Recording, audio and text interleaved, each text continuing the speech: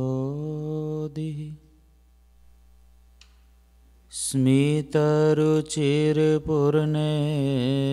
स्मितरुचिर्पूर्णेन्दुवदन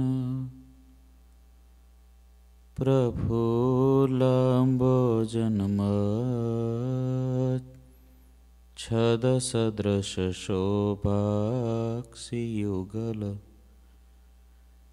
कृपापारावार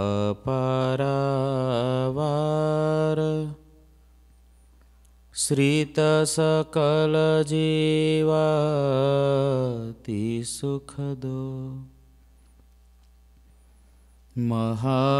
महाश्रेयो मूर्तिर्जयति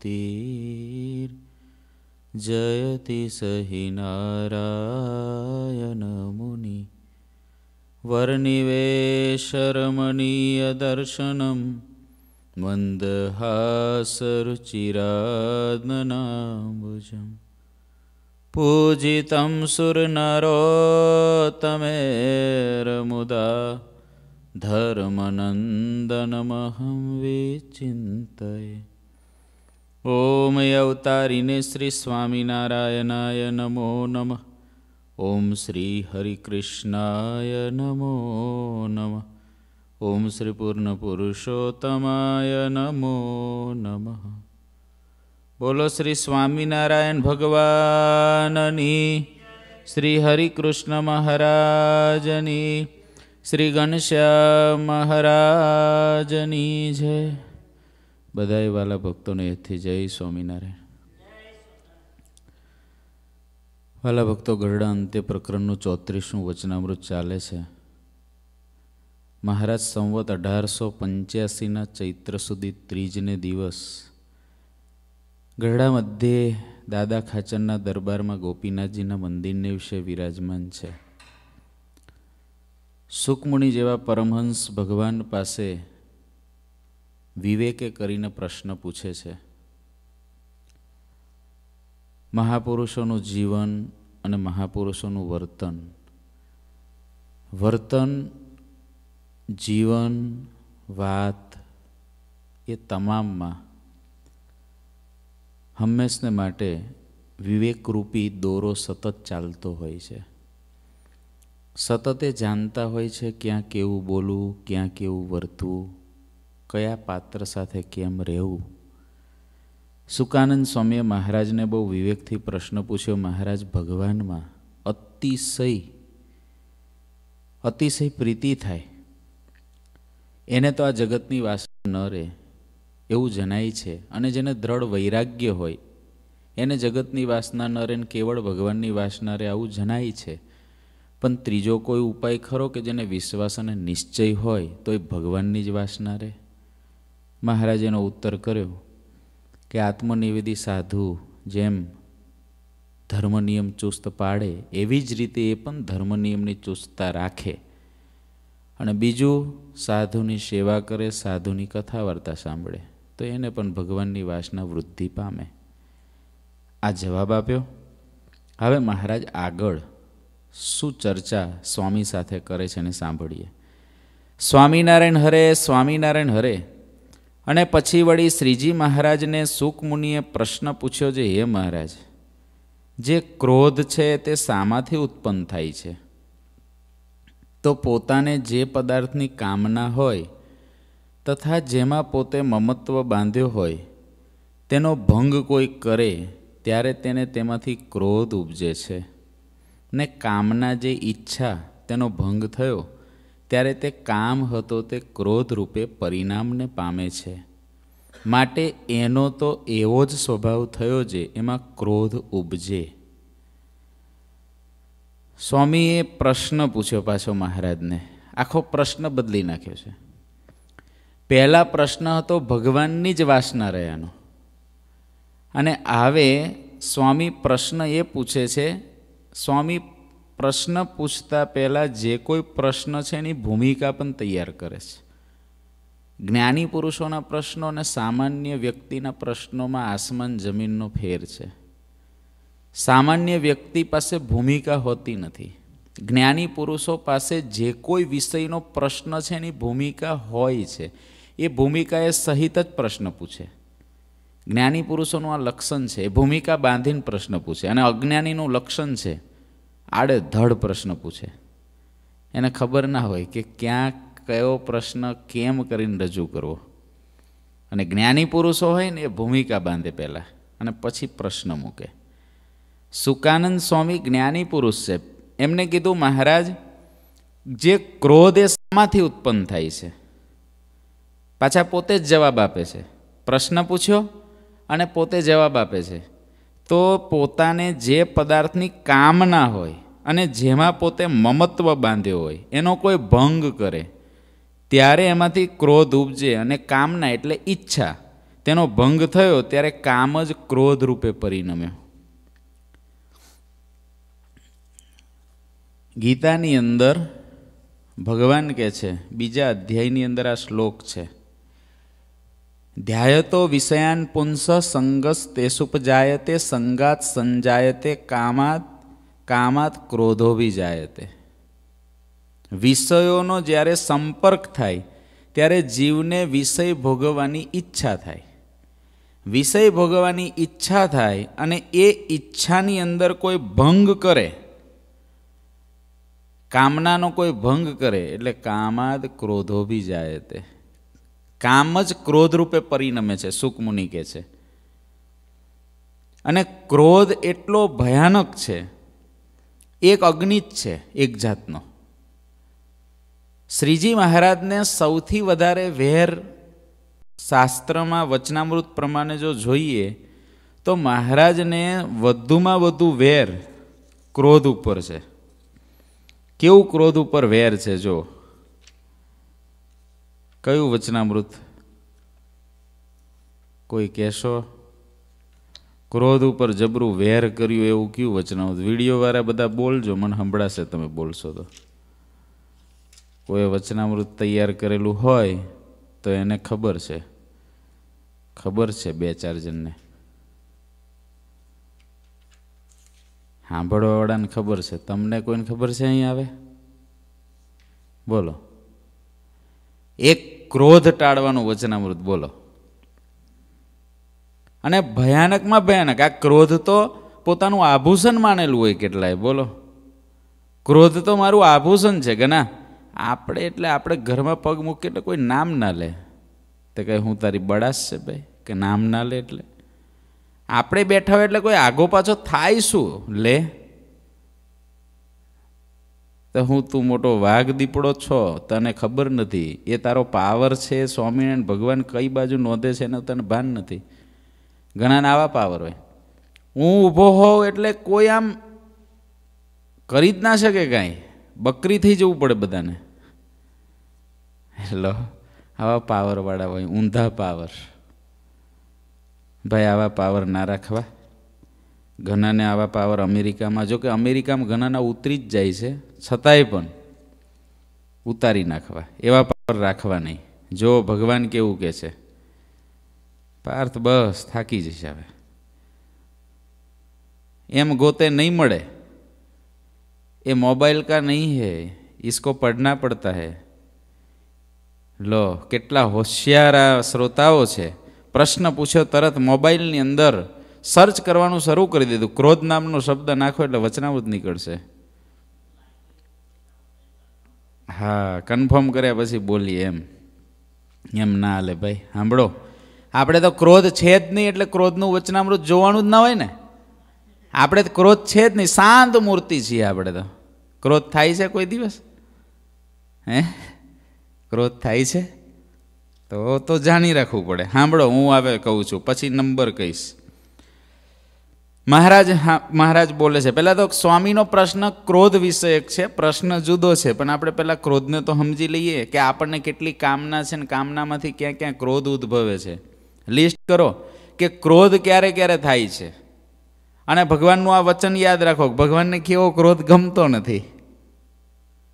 ક્રોધ થાય છે? ક્રોધ આવે? ઓકે. એંગ્રી. એંગ્રી એટલે ક્રોધ ને તમને થાય છે? મન પહેલાં ને થાય જ છે, મને ખબર છે. એ તો મરચું જ છે. સાંભળો. મહારાજ કે છે, મહારાજ કે ક્રોધ ઉપર તો મારે ઘણું વેર છે. ક્રોધ ઉપર ભગવાનને બહુ મોટું વેર છે. બોલો. ભગવાન વેરી છે ક્રોધના.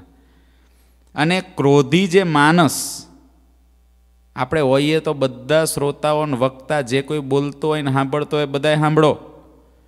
બોલવાવાળો સાંભળે સાંભળવાવાળાએ સાંભળે. શું કહે છે? ક્રોધી જે માનસ આપણે માણસ હોઈએ તો ક્રોધી હોઈએ તો સમજવું. અને અથવા દેવતા, આપણે કદાચ દેવતા હોઈએ અને ક્રોધી હોઈએ.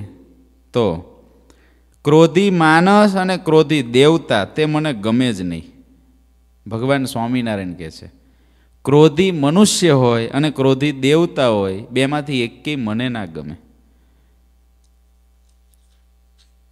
અને ક્રોધ તે કેવો છે? ક્રોધ કેવો છે? ક્રોધ આવે છે ને? ક્રોધ આવે છે ને? આવે છે ને મોન્ટુ ક્રોધ કેવો છે? સાંભળો. એ તો જેવું હડકાયું કૂતરું હોય તેવો છે. પહેલી ડિગ્રી ક્રોધી માણસો બધાય સાંભળે. હું તમે બે બોલવાવાળો, સાંભળવાવાળો. આપણી અંદર ક્રોધ આવે છે એટલે પહેલું આપણને શ્રીજી મહારાજ ટાઇટલ આપે છે કે યુ આર એ હડકાયું કૂતરું. તમે હડકાયું કૂતરું છો. બીજું, એ કેવો છે? હડ, હડકાયા કૂતરું કેવું હોય? જેમ હડકાયા કૂતરાની જે લાડ તે ઢોર અથવા મનુષ્ય જેને અડકે, તેને હડકાયા કૂતરાની પેઠે ડાચ્યો નાખીને મરી જાય તેમ ક્રોધની જેને લાડ અડે તે પણ હડકાયા કૂતરાની પેઠે ડાચીઓ નાખીને સંતના માર્ગ થકી પડી જાય. અને વળી ક્રોધ તે કેવો છે? હવે ડિગરીઓ શરૂ થાય છે. પહેલી હડકાયા કૂતરાની? તો જેવા કસાઈ. કસાઈ એટલે ઢોર કાપવાવાળા. અહીં શું કે? કસાઈને શું કે અહીં? હે? બોચર. બોચર? એ જે કોઈ. એ કસાઈ. પહેલી ડિગ્રી, ક્રોધી માણસની પહેલી ડિગ્રી, આપણી ડિગ્રીઓ સાંભળો જેને જેને ક્રોધ આવતો એ આમ હામો આવી જા. પાછળવાળો અહીં આવી જા યુ મરચું, અહીં સામે જો ક્રોધ કેવો છે? તો બુચર, પહેલી ડિગ્રી. બીજું, આરબ. આરબ એટલે કેવા?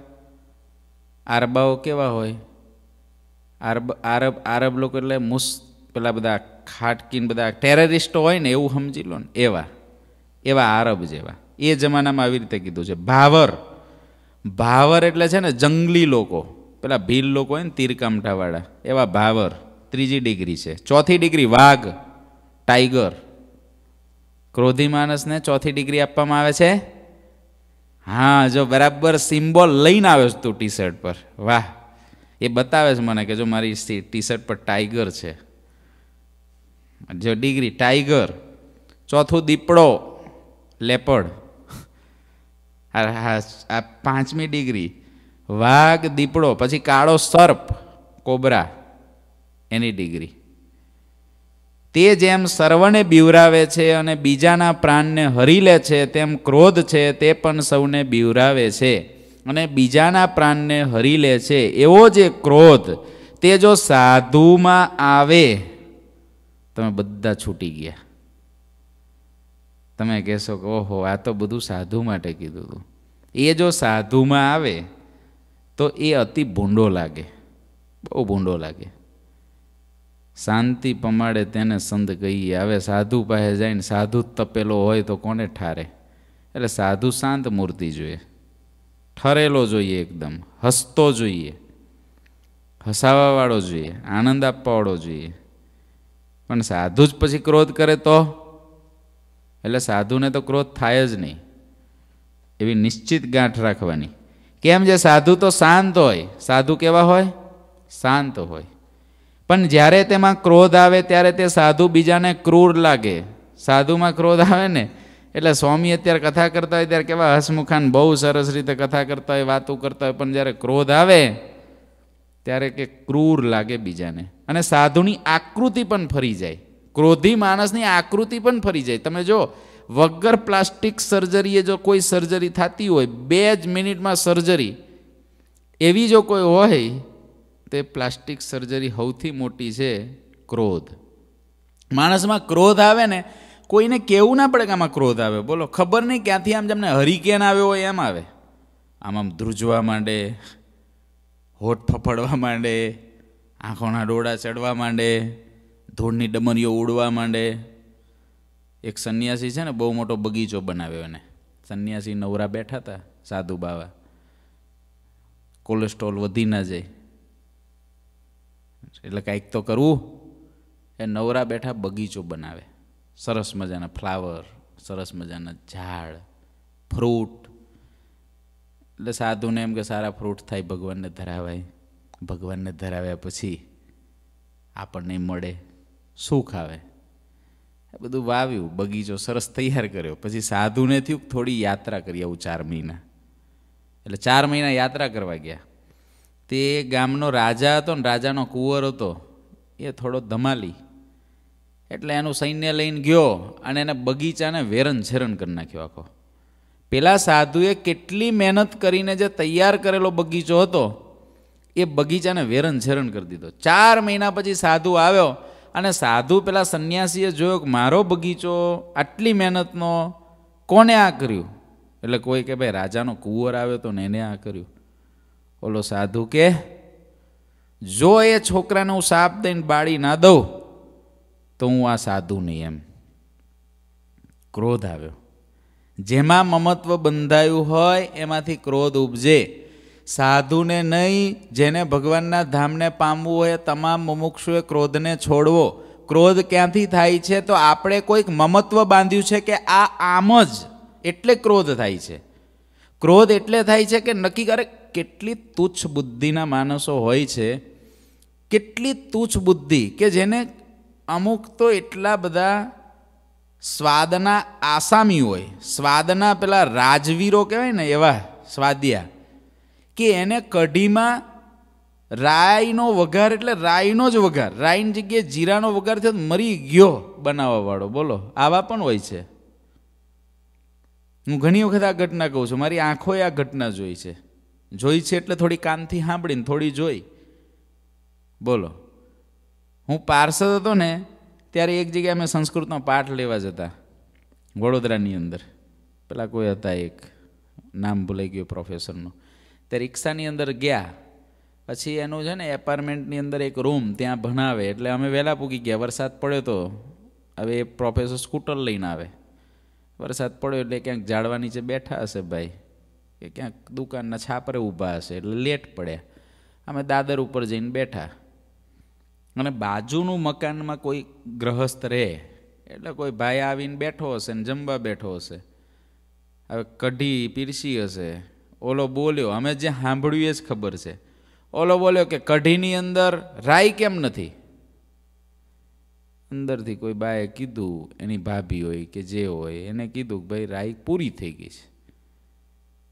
રાઈ વિનાની કઢી બનાવી કે?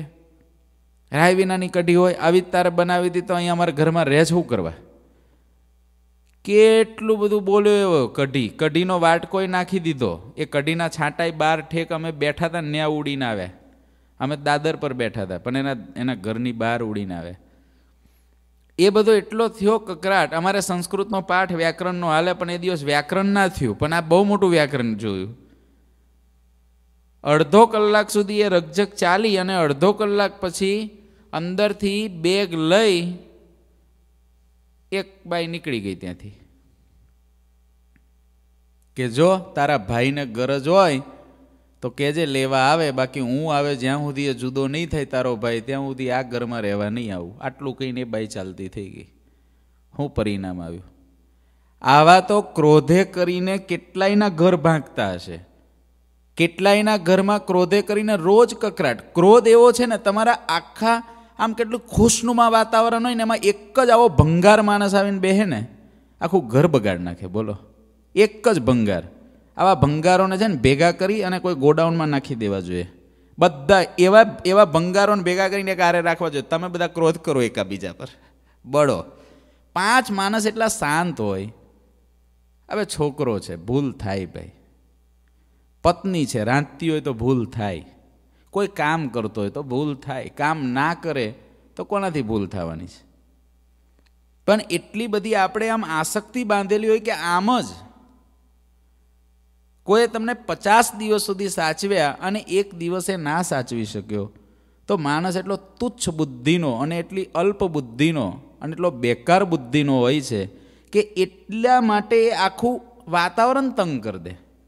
લો. ઓલા દક્ષ પ્રજાપતિ, આવડા મોટા પ્રજાપતિ, પ્રજાપતિઓના મોવડી કર્યા હતા એને અને ગંગાના કાંઠે યજ્ઞ કરતા હતા હવે પ્રજાપતિ એટલે સૃષ્ટિના કરતા.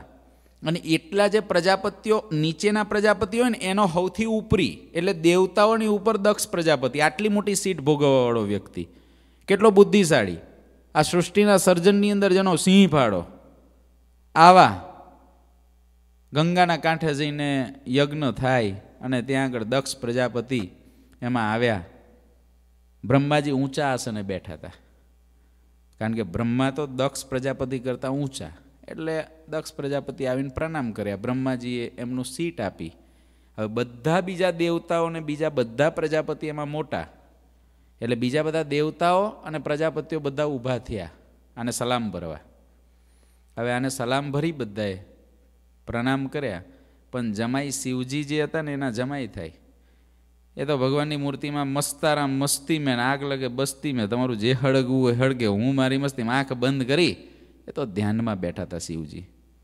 અને દક્ષ પ્રજાપતિએ જોયું જોયું કામના હતી કે હું આવું એટલે બધા ઊભા થવા જ જોઈએ. રહેવા દે. આખી સૃષ્ટિના પ્રલય થઈ જાય છે, તારોય પ્રલય થવાનો, તું આવે તો ઊભો ના થયો તો તારું બગડી હું ગયું, તારી સીટ પર બેહી જાય ને ભાઈ. પણ જીવથી આવું થાય જ નહીં, બોલો. થાય જ નહીં, જીવને એમ જ થાય.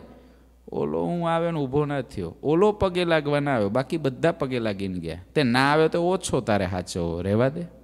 પણ તોય જીવથી રહેવાય જ નહીં ને. ઠીક છે, કોઈના ઉપદેશ અર્થે આગળ વાત આવશે. આ વચનામૃત વિવેક શીખવાડે છે. ક્રોધના વિવેક આગળ આવશે. કે ક્રોધ કોને અને ક્યારે કરવો જરૂરી છે? ક્રોધ કરવો કરવો કહેતા બતાવવો જરૂરી છે, પણ કોને બતાવવો અને ક્યારે બતાવવો? એનો વિવેક બતાવશે આ વચનામૃત. સામાન્ય વ્યક્તિઓએ પોતાની બાંધેલી કામનાઓના કારણે કેટલું છીન ભીન કરી નાખતા હોય છે, ક્રોધે કરીને, નિર્ણયો ખોટા લઈ લે. કેટલી જાતના ડિસિઝનો એના એવા આવે ક્રોધના કારણે, કારણ કે વિભ્રાંત. ક્રોધના કારણે સમોહ, મોહ ઉત્પન્ન થાય અને મોહાત બુદ્ધિનાશો, મોહથી બુદ્ધિનો નાશ થાય અને બુદ્ધિનાશાત પ્રનશ્યતી, બુદ્ધિનો નાશ થાય એનો વિનાશ જ થાય. માટે ભગવાનના ભક્તો ચેતો ઘણા બધા ભગવાનના બહુ સારા ભક્તો હોય, પણ ક્રોધ તો એને જાણે આમ ડગલે ને પગલે આવતો હોય. આપણી આગળ દંડવટ કરી લે, પગે લાગી લે, બધું કરી લે, પણ ક્રોધના કોથળા ભરેલા હોય આખા. અને શ્રીજી મહારાજને ક્રોધ આરે વેર છે. ક્રોધ આરે વેર છે. કરોડો વંદન હોય એવા એવા મહાપુરુષોના ચરણોમાં દાદા ગુરુજી જેવા કે ગુરુજી કે હું એમની ભેગા રહ્યો, જિંદગીમાં જેના મુખારવિંદ ઉપર ક્યારેય ક્રોધ જોયો નથી. કેવી રીતે જીવતા હશે? કેટલી મોટી મહાનતાઈઓ કરી અને કેટલા મોટા મંદિરોના વહીવટ કર્યા? અને કેવા ભંગાર માણસો આરે પણ રહેવાનું થયું ને કેવા જોડે કામ લેવાનું થયું? ગુરુજી એમના જીવન દર્શનની કથા દરમિયાન આખી વાતો કરે કે જેની અંદર કેવા લોકો ભેગાએ રહ્યા અને કેવી પરિસ્થિતિઓ ઊભી થઈ. એની વચ્ચે પણ એ મહાપુરુષે ક્રોધ ના કર્યો. બોલો. અને આપણે તો કાંઈ ના હોય, મરચું પાપડ ન હોય ને ક્રોધ કરીએ. પાણી કોઈ ના પાયું ક્રોધ કરે, પંખો ચાલુ ના કર્યો ક્રોધ કરે, કોઈ અડધી રાતે જગાડી દીધા ક્રોધ કરે. લો, ફોન આવ્યો અને કે, સ્વામી, ફોન આવ્યો છે. હવે રાતે બે વાગે ઓલો ફોન આપવા આવે સ્વામી, ફોન છે કોઈનો. આ મૂરખ અત્યારે બે વાગે. કહી દેવાય કે, સ્વામી, હુતા છે. લો, અરે, પણ કોઈ મુમુક્ષ છે? હા, મેં એને કંઈ પ્રશ્ન છે. તમે તો કોઈના જીવના કલ્યાણ અર્થે સર્જાયા છો. તો ક્રોધ હાનો? તમે તો પારકી પ્રોપર્ટી છો. તમારી છે જ ક્યાં તમારું પોતાનું કંઈ? ઊંઘ માટે જન્મ્યા છો તમે? ઊંઘવા માટે પેદા થયા છો? સત્સંગમાં ઊંઘવા આવ્યા હતા? પણ ના ખમાય. કારણ કે ઊંઘનું મમત્વ બાંધ્યું છે. કે ઊંઘ મારી છ કલાકની પૂરી થવી જ જોઈએ એટલે. જેની કામના બાંધી હશે એમાંથી ક્રોધ ઉત્પન્ન થશે. વાત નક્કી જ છે. જેની કામના બાંધી હશે. ઈચ્છા એટલે ક્રોધ ઉત્પન્ન થવાનું મોટામાં મોટું કેન્દ્ર. ઈચ્છા એટલે ક્રોધનું બીજ. ઈચ્છાનો અંત એટલે ક્રોધનો અંત. જે મહાપુરુષોમાં ક્રોધ દેખાતો નથી, માની લો, એની અંદર ઈચ્છા કોઈ પ્રકારની નથી. એને કોઈ મમત્વ બાંધ્યું જ નથી ક્યાંય. મમત્વ છે એટલે ક્રોધ થશે. ક્રોધ થશે. દક્ષ પ્રજાપતિએ જોયું કે શિવજીએ, શિવજી એક જ ઊભા નથી ત્યાં. એટલે દક્ષ પ્રજાપતિએ શું કીધું? આટલી આખી સભા ઊભી થઈ. તેત્રી કરોડ દેવતા ઊભા થયા. કેટલા પ્રજાપતિઓ ઊભા થયા. હવે એક ઊભો ના થયો તો હું એને, હું પેટમાં દુખી ગયું કહો મને. હું એનું બગડી શું ગયું? એક ઊભો ના થયો, એક વ્યક્તિ. એનું શું બગડી ગયું? અને કેવી નજર કાગડા જેવી?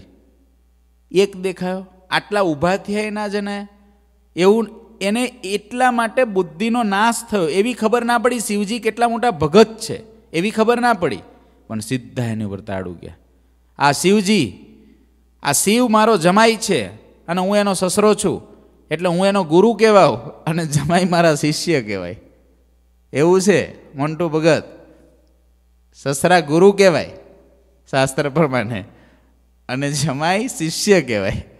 બોલો. આ દક્ષ પ્રજાપતિ કહે છે, ભાઈ, હું નથી કહેતો.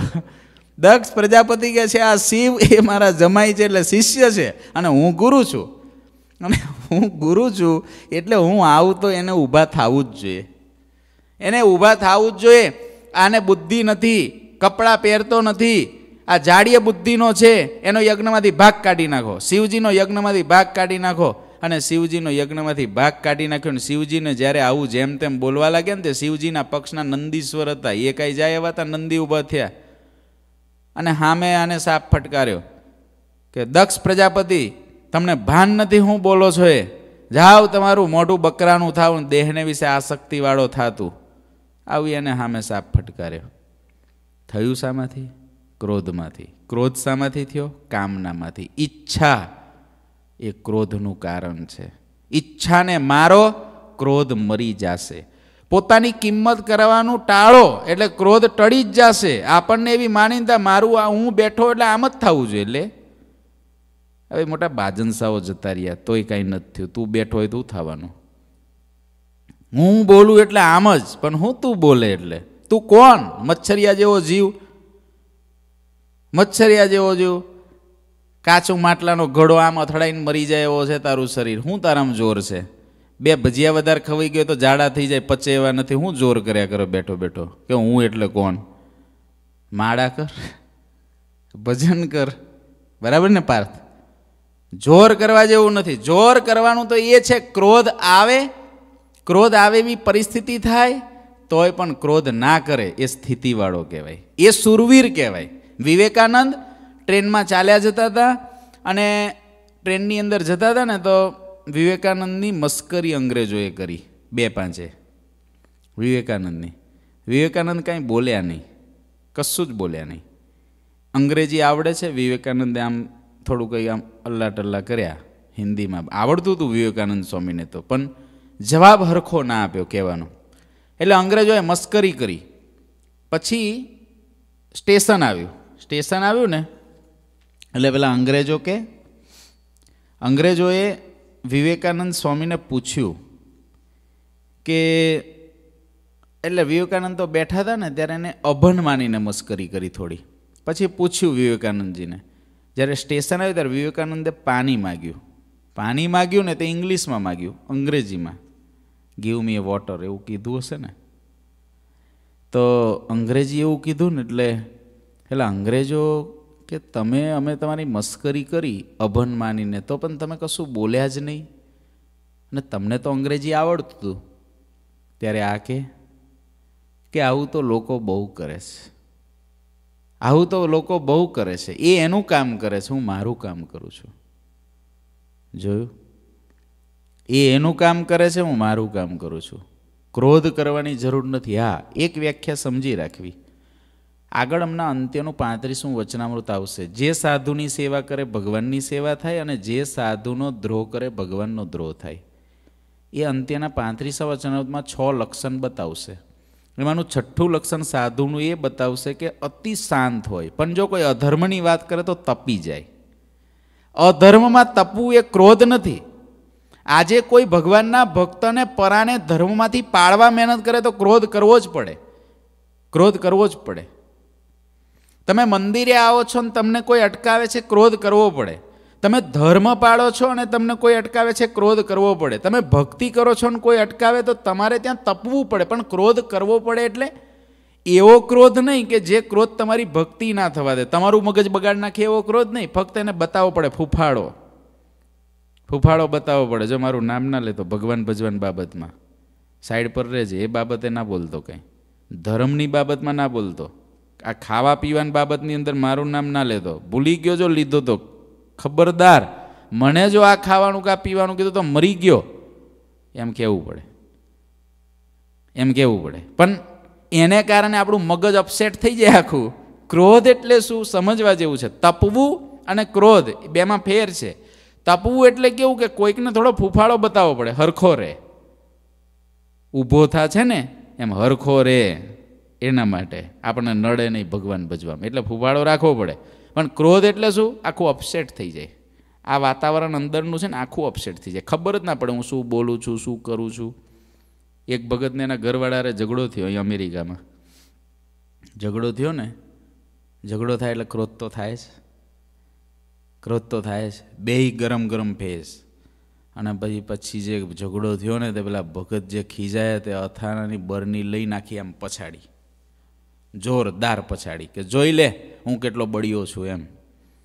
પછાડીને તે આખી કાર્પેટ ઉપર અથાણું થઈ ગયું. આખી કાર્પેટ પર કાચ કાચ થઈ ગયા. અને ઓલી ઘરવાળી એકદમ શાંત થઈ ગઈ. સોફા ઉપર પલાઠી વાળીને બેહી ગઈ. સાંભળ હવે આ કાર્પેટ પરના કાચ ને અથાનું તારે સાફ કરવાનું છે. હું નહીં કરું. હવે શું કરે આ? શું કરે? મને કહો. આખી કાર્પેટ પરના કાચ વિન્યા અથાણું સાફ કર્યું અને કાર્પેટ બદલાવાના બે હજાર ડોલર ખર્ચ્યા. કાર્પેટ બદલાવાના બે હજાર ડોલર ખર્ચ્યા. ઓલી તો પલાઠી વાળીને બેઠી રહી. હું લીધું આને? ક્રોધ એવો છે.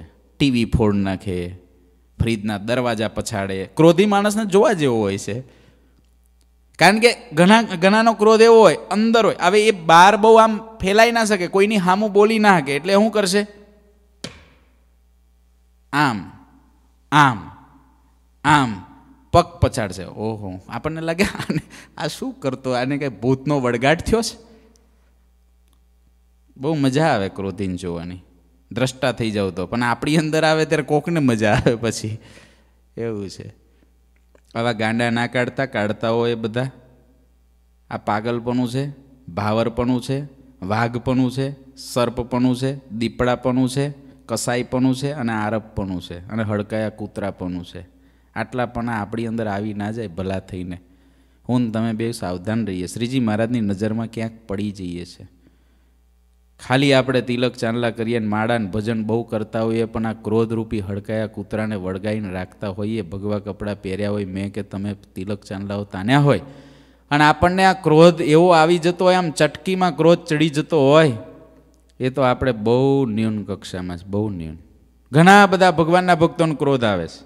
ખબર છે અમને. ભલે તમે અમારી ભેગા રહેતા નથી, તમે ભલે દૂર બેઠા છો, પણ તમે ક્યારે ક્રોધને કેમ ક્રોધ કરો છો, બધા રિપોર્ટ આવતા જ હોય. ના આવતા હોય તો તમે પાંચ દિવસ ભેગા રહો એટલે ખબર પડી જ જાય. હાથ દી ઉત્સવમાં ભેગા આવવાના છો ને? ત્યારે ખબર પડે. તમારી ભેગા બે પાંચ મિનિટ બેહીએ અને વાતો કરીએ એટલે ખબર પડે. કારણ કે દરેક વસ્તુ આંખની અંદર છે ને આપણા બધા વેવ્સ લખેલા હોય છે. આ આંખ છે ને આઈઝ. પાર્થ ખુશ થઈ ગયો કે, વાહ, સ્વામી, તમે વાત સાચી કરી.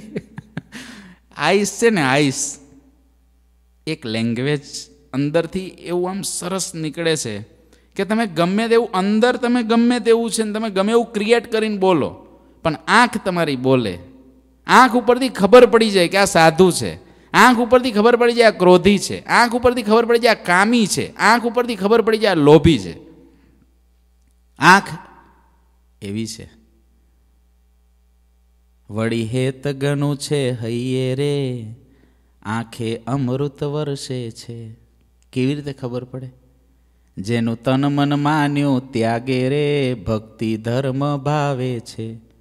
જેનું તન મન ત્યાગથી માનેલું છે. સાધુનું લક્ષણ કે છે? સાધુ કેવા હોય? જેના વચન વીટ્યા વૈરાગે રે, અંતરમાંથી આવે છે. જેના વચનો વૈરાગ્યથી વીટાયેલા હોય અને અંતરમાંથી આવતા હોય ગોખનપટ્ટીથી ના આવતા હોય, વન વિચારે પણ વાતુરે આવે એના અંતરથી. વન વિચારે પણ વાતુરે શીલ સંતોષ અને વળી શાંતિ રે, એમાં રહીને બોલે છે. ધીરજતા કઈ નથી જાતી રે, જ્ઞાન ધ્યાનમાં ડોલે છે. વળી હેત ગનું છે હૈયે રે. હેત એના હૃદયમાં બહુ છે. આંખે અમૃત વરસે છે. સાચો સાધુ હોય ને, એની આંખમાંથી અમૃતની ધારાઓ વરસતી હોય. ગુરુજીની આંખની અંદર ખાલી આમ જુઓ ને, એટલે આમ આનંદ થઈ જાય. ગુરુજીની આંખો બાજુ જુઓ ને તમને એમ લાગે, ઓહો, બસ ટાઢું થઈ જાય. એ તમારી બાજુ જોવે ને ટાઢું થઈ જાય. એ તમને કાંઈ કેન ટાઢું થઈ જાય, બોલો. કારણ કે એ સાધુની આંખોમાં એવું હોય છે, અને ઘણાની આંખો તો હા હા ડેન્જર. આમ જુઓ તો તમને એની આંખ જોઈને જ થાય કે આને કેમ છો? પૂછાય જ નહીં. એક સ્વામીનું નામ શીતળ પ્રસાદ. શું નામ હતું? શીતળ પ્રસાદ. શીતળ એટલે કોલ્ડ. કોલ્ડ પ્રસાદ. શીતળ પ્રસાદ એટલે એકદમ શાંત એમ શીતળ પ્રસાદનો અર્થ એવો થાય. તે સાધુને જઈને કોઈ પૂછ્યું, સંન્યાસી હતા? આપણા મહારાજના સાધુ નહોતા. એટલે સંન્યાસી પાસે જઈને કોઈ પૂછ્યું, શું નામ તમારું? શીતળ પ્રસાદ. શું નામ? શીતળ પ્રસાદ. શું નામ? શીતળ પ્રસાદ. શું નામ તમારું? હું પૂછ્યા કરે છે કે ક્યારનો શીતળ પ્રસાદ, શીતળ સંભળાતું નથી તને? ઓલો કે, પણ તમારું નામ તો અગ્નિ પ્રસાદ રાખવાનું હતું. શીતળ પ્રસાદમાં તમારું નામ શોભે એવું નથી. અગ્નિ પ્રસાદ બરાબર છે. અગ્નિ એટલે હળકતી વાળા તમે ઠંડા નથી, તમે તો ગરમ છો. એવું છે. એટલે ક્રોધ છે ને, વિરૂપ છે. મહારાજ કે ક્રોધ જ્યારે સાધુમાં આવે ને, અતિ ભૂંડો લાગે. વિરૂપ કરી નાખે. કોઈ પણ વ્યક્તિનું સ્વરૂપ વિરૂપ થઈ જાય. ક્રોધ આવે ને, તમને ક્રોધ આવતો હોય ને, ટાળવો હોય ને, તમારે આજુબાજુ વળાને કેવું કે મારી અંદર ક્રોધ આવે ને, ત્યારે મારું મૂવી ઉતાર લેવું. મારું મૂવી ઉતાર લેવું મૂવી કેમેરામાં. અત્યારે તો ફોન બહુ સારા થઈ ગયા ને. છૂટ આપી કોકને કે તમને જ્યારે મારામાં એવું લાગે ને ત્યારે મૂવી ઉતાર લેજો. દૂરથી. કારણ કે દૂરથી ઉતારજો, નહીં તો ફોન તોડ નાખીશ તમારો. એટલે દૂર રહેજો. કારણ કે વાવાઝોડું આવે કેવું હોય? હરિકેન કેવું હોય? ઉડાડી મૂકે બધું. અને પછી એ જે ઉતારે ને, એને તમે જ્યારે શાંત થઈ ગયા હો ને, ત્યારે એને મૂકીને જોવાની પોતાની મૂવી આ હું છું. અત્યારે આ જ્ઞાનની વાતો કરે ત્યારે કેવું સરસ લાગે સ્વામીને? પણ સ્વામી જ્યારે આવે ત્યારે ઉતાર લીધી હોય ભગતે. અને પછી સ્વામીને આપે સ્વામી જ્યારે નવરા પડો ને સત્વગુણ વર્તતો હોય ને ત્યારે જોજો આ મૂકીને. શું છે? તમે જોજો તો ખરા, જોવા જેવું છે. માનવા જેવું છે. અનુભવવા જેવું છે. સુધારવા જેવું છે. કરજો. અને પછી પોતાની મૂવીને જોઈ. આહા. આપણું સ્વરૂપ તો જોવું ત્યારે કેવા જ્ઞાનીને કેવા પંડિતને કેવા ભક્તિભાવવાળાને કેવા છીએ આપણે? આ ચાંડાળો જ્યારે આપણી અંદર પ્રવેશે ત્યારે કેવા ભૂંડા થઈ જઈએ છે? બોલો. એટલે એવું છે, એક ઠરેલો અગ્નિ ને એક આવો બાળતો અગ્નિ હોય. પેલો બાળતો હોય ને બોલવા જ માંડે. જેમ આવ્યું એમ બોલે. જે ફાવ્યું એમ, જેમ આવ્યું એમ બોલે. અને ઓલો અંદર હોય ને, એ મેં તમને કીધું એમ, હાથ પછાડે, પગ પછાડે, સોફો પછાડે, ટીવી તોડે, ટ્યુબલાઇટ તોડે. ઇન્ડિયામાં તો મેં આવું જોયું છે. કેટલા ઘર આખી ટ્યુબલાઇટો તોડ નાખે. લો એટલે પણ તારા ક્રોધને ટ્યુબલાઇટને હું લેવા દેવા? કારણ કે એનાથી બીજું જોર થાય એવું ના હોય, ઓલા ઉપર થાય નહીં. એટલે ટ્યુબલાઇટો તોડે. બોલો. બલ્બ તોડે, ટીવી તોડે. હવે ટીવી પચીસ હજારનું તોડીને એને શું મળે? શું મળે? અને ક્રોધના કારણે તો કેટલાય ઘરમાં આપઘાત પણ કરે છે.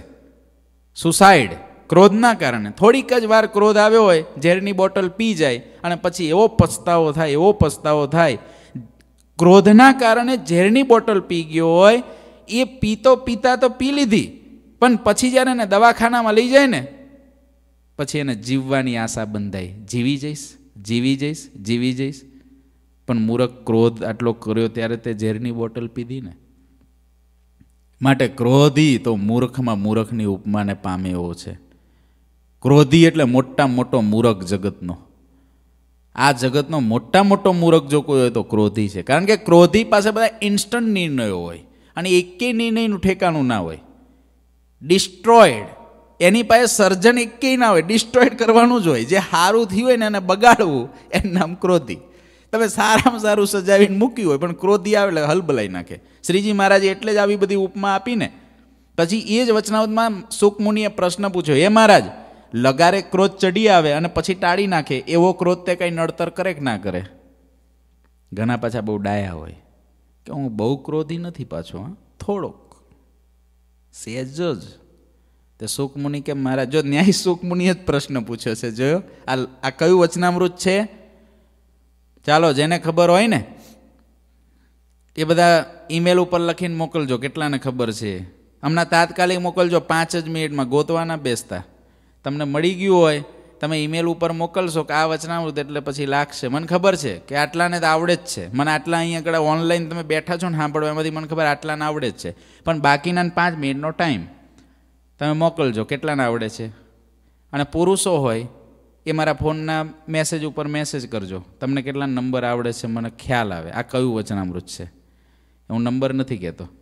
ભાઈ સુખમુનિએ પૂછ્યું છે, હે મહારાજ, જે લગારે ક્રોધ ચડી આવે અને પછી તેને ટાળી નાખે, એવો જે ક્રોધ તે કાંઈ નડતર કરે કે ન કરે? ત્યારે શ્રીજી મહારાજ બોલ્યા, જેમ આ સભા બેઠી છે, આ સભા બેઠી છે, તેમાં હમણાં જો સર્પ નીકળે અને કોઈને કરડે નહીં, તો પણ ઉઠીને સૌને ભાગવું પડે.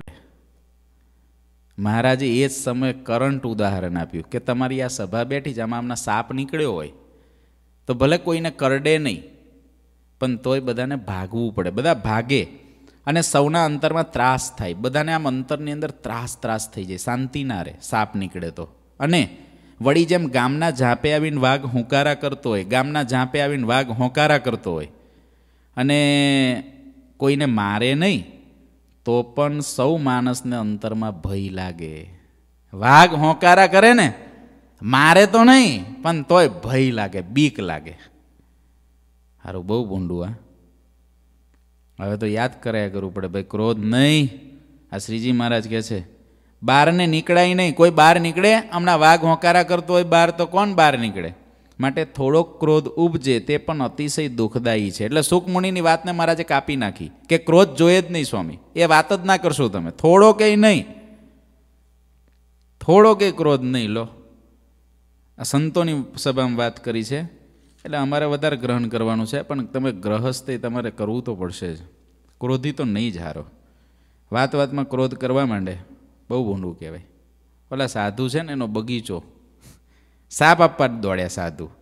બગીચાનું સર્જન કર્યું, એ સાધુને તાન એમ ચડ્યું કે મારો બગીચો છીનભીન કરી નાખ્યો. જે સાધુ જ્ઞાની હતો, રાતને દિવસ વાત કરતો હતો, નિત્ય પ્રલય, નિમિત્ત પ્રલય, પ્રાકૃત પ્રલય, બ્રહ્માના આયુષ્ય સો વર્ષમાં બ્રહ્માનો સત્યલોક પણ નાશ પામે છે એ ભક્તો, તમારું પણ કાંઈ રહેવાનું નથી.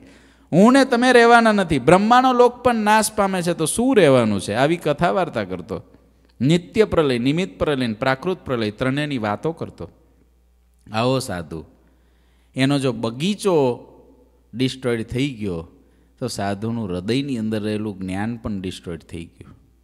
અને પછી સાધુ સાપ આપવા જતો હતો। રાજાને ખબર પડી કે આ સાધુ તો બાળી નાખશે, બહુ જ્ઞાની ને બહુ સમર્થ છે, એટલે બાળી જ નાખવાના છે। આવું જ્યારે રાજાને થયું, ત્યારે રાજાએ ફરમાન કર્યું આખા રાજ્યમાં કે કોઈ વ્યક્તિ જો આ સાધુનો સા, આ ક્રોધને શાંત પાડી દે, તો જે માગે ઇનામ આપવાનું. આખું રાજ્ય ધ્રુજે, આની સામે જાય કોણ? ઉડાડી મૂકે, હરિકેન છે તો. આપણને સાપ કરી દે. જાય છે રાજકુંવરને આપવા, આપણે શું કરવા મરવું કે? એમાં એક ચાંડાળી હતી. ચાંડાળી એટલે ખરાબ સ્ત્રી. સ્મશાનનું બધું માંસ ખાતી હોય જ્યાં ત્યાં રખડતી હોય, એવી હાવ ખરાબ સ્ત્રી. એવી ચાંડાળીએ બીડું ઝડપ્યું કે મારે સાધુનો ક્રોધ દૂર કરવો. આખું રાજ્ય વિચારમાં પડ્યું કે આ ચાંડાળી મરી જવાની છે આ ક્યાં ના આ આ સાપના મોઢામાં હાથ નાખે છે? વાઘના મોઢામાં હાથ નાખે છે. પણ ચાંડાળી સુરવીર પેલા સાધુ તો આમ ધુઆ પુઆ આમ થતા આવતા ધૂળની ડમરીઓ ઉડાડતા હતા. કારણ કે આ ક્રોધનું આખું આખું વાતાવરણ એ ક્રોધી માણસને એવું હોય કે ક્રોધી માણસ પાછો પોતાનો આમ પાવર બતાવવા મેં કીધું ને એમ કે ઘણું બધું તોડે, ફોડે, આમથી આમ નાખી દે, બધું બહુ કરે. ઘણા આમ તમે આમ જો ને આમ આમ પેન્ટના પટ્ટા છોડીને આમ પેન્ટનો પટ્ટો છૂટો નાખે, બૂટ છૂટો નાખે, આવું બધું એને આખું આખું વાતાવરણ ઊભું કરવું પડે કે હું આઈ એમ સમથિંગ હું કંઈક છું અને હું બેઠો છું, આવ્યો છું. સમજી જાઓ તમે વાતને. આવું બધું એને તૈયાર કરવા માટે પાછો બુદ્ધિપૂર્વક પ્લાન કરે આ બધો, મૂરખનો સરદાર. એટલે આ બધો આમ ધૂળની ડમરીઓ ઉડાડે ને આમ તેમ બધું કરતો કરતો હાલ્યો જાય. પેલી ચાંડાળી સ્ત્રી આવીને સીધી એ એ સંન્યાસીના પગે વળગી પડી. ઓ મારા પતિદેવ કે, તમે ક્યાં જતા રહ્યા હતા? તમારી વાટ જોતી હતી કેટલા દિવસથી? બે છોકરા રોયા કરે, ભૂખ્યા, એને ખાવાનું મળતું નથી. તમે ક્યાં ગયા હતા પતિદેવ? કેટલા વર્ષથી ક્યાં હતા? ઓલો તો જે ધુઆ થયેલો હતો ને, આવી એવો ધર્મનિષ્ઠ સાધુ હતો કે જેને ક્યારેય પણ સ્ત્રીઓનો સંપર્ક જ નહોતો. સ્ત્રીઓનો સંપર્ક જ નહોતો એને. અને ઓલી ચાંડાળી આવી રીતે પગે વળગી પડી, આખું પબ્લિક ઊભેલું એની વચ્ચે ઓલો સાધુ તો પરસેવે રેબ જેબ થઈ ગયો આમ લાત મારીને દૂર નાખીને પરસેવે રેબ જેબને આમ ઢીલો ઢસ થઈ ગયો. મરી ગયો કે જો આ આવું બોલી અને આટલા વર્ષથી હું ધર્મ પાડું છું, લોકો હું કહેશે? બે છોકરા અને આ મારી ઘરવાળી? એટલે પેલો સાધુ કે, તું છે કોણ? તું મારી ઘરવાળી કેમ નહીં થઈ? અને ક્યારે થઈ? આવું મને બદનામ ના કરી. શાંત થઈ ગઈ એકદમ સાપ આપવાનું તો બાજુ પર એ તો જતી રહી, લિંક જ તૂટી ગઈ હતો ઓલી ચાંડાળી કે, માફ કરજો સાધુરામ, હું તમારી પત્ની નથી. પણ તમારી અંદર હમણાં મારો પતિ આવ્યો હતો થોડા સમય પહેલાં. કોણ? ક્રોધ. એ મારો પતિ થાય. તમે મારા પતિ નથી. હું એને કહેતી હતી કે ક્યાં જતો રહ્યો હતો તું? બે છોકરાને મૂકીને તું ક્યાં ખોવાઈ ગયો હતો? હું તો ચાંડાળી છું. અને તમારામાં જે આવ્યો હતો ને ચાંડાળ હતો. એની પત્ની છું, તમારી નથી. માફ કરજો, સ્નાન કરી આવો, પવિત્ર થઈ જાઓ જાઓ. ઋષિ ત્યાંથી સ્નાન કરી આવ્યા અને આશ્રમમાં ભજન કરવા બેહી ગયા, બોલો. ભજન કરવા બેહી ગયા, પણ ક્રોધ જતો રહ્યો ને. ક્રોધ ક્ષણિક જ આવે છે. તમે વિચારો, તમારા જીવનમાં જ્યારે જ્યારે તમને ક્રોધ આવ્યો હોય અને તમે જે કાંઈ તમારી સુરવીરતા બતાવી હોય, ખરેખર એ તમારી કાયરતા જ હતી અને હજુ પણ ભવિષ્યમાં જે કાંઈ થશે કાયરતા જ હશે, એ તમારું નિર્બળપણું જ છે. ક્રોધ એટલે શું? નિર્બળ વ્યક્તિ ક્રોધ કરે, બળવાન કોઈ દી ક્રોધ ના કરે. નિર્બળ છે. એને બળ બતાવવું પડે એક્સ્ટ્રા એટલે ક્રોધ કરવો પડે. નિર્બળને કોઈ દી ક્રોધ, બળવાનને કોઈ દી ક્રોધ કરવો પડતો હશે? બળવાન તો ચાલ્યો જાય. હાથી ચલત બજારને કૂદતે ભસત હજાર. હાથી ચાલ્યો છે હોય, કૂતરા હજાર ભસતા હોય, હાથીને શું ફેર પડે. એમ જેને ભગવાન ભજવા છે એને શું ફેર પડે.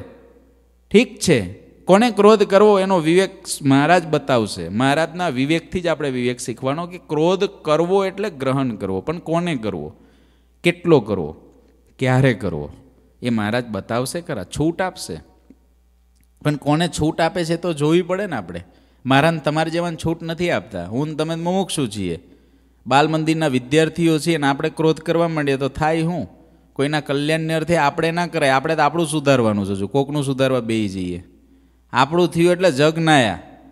બીજાના સુધારવાની જરૂર નહીં. તમે તમારા ઘરમાં તમે પેરેન્ટ્સ હો, તમારા દીકરાઓને તમારે પ્રેમથી સમજાવવા. એને કદાચ થોડું આંખ કાઢીને કેવું પણ પડે.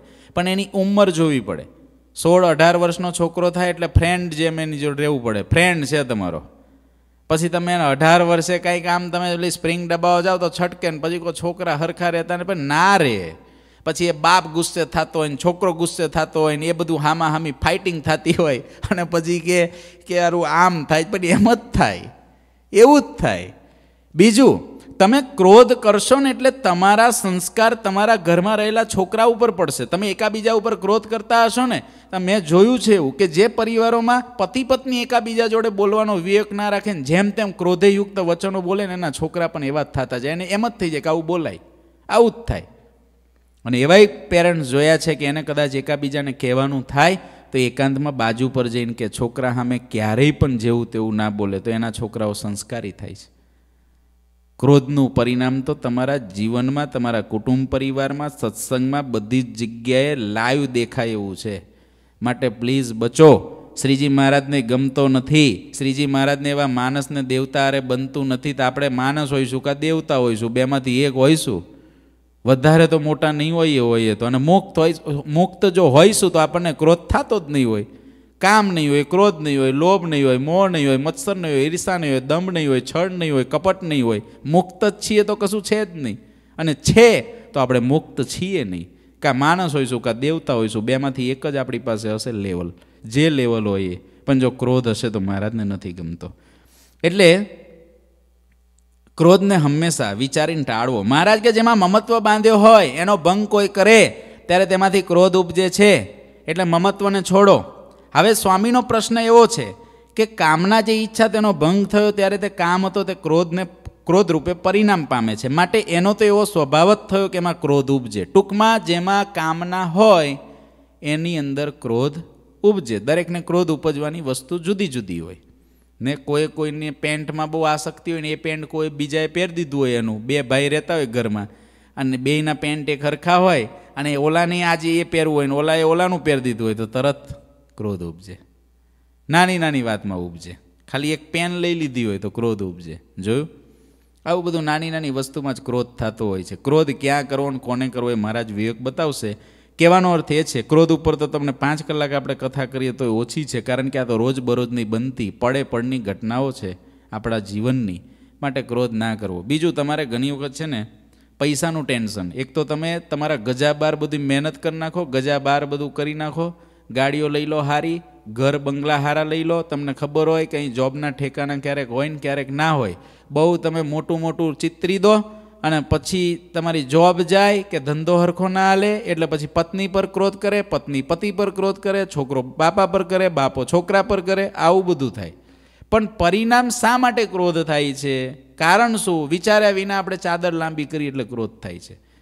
એના કરતાં પહેલેથી થોડું વિચારીને ચાલીએ, તો એ બધા ક્રોધ ઉત્પન્ન થવાના ચાન્સીસ ના રહે. તો પોતાને જે પદાર્થની આવી કામના એમાંથી ક્રોધ થાય છે. માટે એનો તો એવો સ્વભાવ થયો કે એમાં ક્રોધ ઉપજે. અને એમ થાય, એવું થાય કે જેમાં કામના હોય, છતાંય પણ ક્રોધ ન થાય. એમ થાય તો પણ ક્રોધ ન ઉપજે. એમ છે કે નહીં? આ પ્રશ્ન છે. પ્રશ્ન આવો છે, સ્વામીનો.